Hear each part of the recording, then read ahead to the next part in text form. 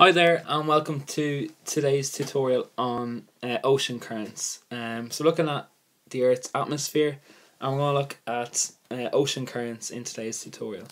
Uh, please remember to check out our website examrevision.ie, subscribe to our YouTube channel and you can follow us on Twitter and Instagram for all our latest news. So, ocean currents. Um, for the junior certificate examination there's a few things that you need to know um, with, with regards to ocean currents. I'm going to show you the few things that you need to know now. Okay, so this map here shows us the map of the world and it shows us all the different ocean currents that we get. Um, okay, firstly, the first thing that you need to know is the red one, okay? So the red one is the warm currents, okay? So all these red ones here, such as Alaska, the Gulf Stream, Norwegian, uh, Brazil, um, and so on, all these red ones are warm currents. The blue one are cold currents, okay, so it makes sense. Such the Canary one, uh, Greenland, California, Peru, and so on. So there are, you've got the warm currents and you've got the cold currents.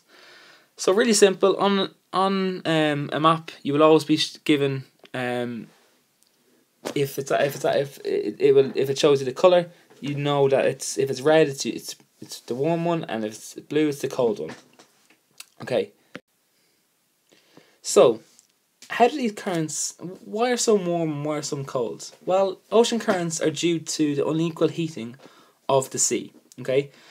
All currents that are going towards the equator are cold. And all currents that are moving away from the equator are warm. So you can see the Peruvian one is moving towards the equator, the equator line's here. And just highlight that. Um, Okay, so we've got the equator here. And all the currents that are moving towards the equator are cold, and then you have all the ones that are moving away from the equator are warm. As you can see this way. Okay, and the other thing you need to know is in the northern hemisphere, which is this half here, so this is the southern hemisphere, this is the northern hemisphere, all because of the Earth's rotation, all of the currents um, that are moving from west to east currents are in the northern hemisphere. So if they're moving from the west to the east, they are they're going that way. So from west to east, from west to east, and that's because um, of the Earth's rotation. And it's the opposite in the southern hemisphere. They're all deflected to the left. Okay, so for the junior certificate examination, um, you need to know these ocean currents. Okay, but if I was you, I'd focus on uh, these three currents in particular because these three are the ones that tend to come up every year. Well, not every year. Sorry, they come up when they do come when they do ask about ocean currents. These are the currents that tend to come up most frequently. Okay, so the Labrador Labrador current. Okay, so I've done it in blue because it's a cold uh, current, and this this Labrador current comes down here. Okay, so it affects Greenland and Canada. Um, and this is cold current, uh, which causes temperatures to drop, uh, causing harbours and ports to freeze during the winter months. The reason why they like they probably like to use the Labrador current is because it's it's a cold current which is very close to Ireland. Now we do have another cold current up here, so the Greenland one, but the Labrador current is more um is more is better well known. So this is the one that they do tend to use. But I would also know the Canary one, um, as well because that is uh, in close proximity to Ireland which is also a, a cold uh, current. The second one uh, that I'm going to look at is the Gulf Stream. So the Gulf Stream um, passes up the east of uh, America, and the Gulf Stream um, is a warm current because it's in red, and I've done it in red.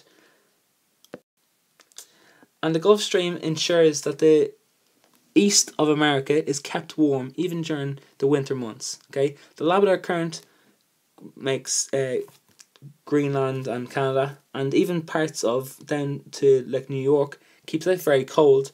But the Gulf Stream, um, below it keeps all of uh, most of the east of America really warm and stops it from freezing. And the last one is the North Atlantic Drift. And the North Atlantic Drift is a huge influence on Ireland, okay? It's a warm current, okay, I know it has it in black here, but it's actually a warm current. And it is warm current which passes over the west of Ireland. Okay, and this ensures that Ireland's ports are kept ice free during the winter months. And this is why we don't actually freeze. some parts um, of Canada and America up here will actually freeze during the winter months.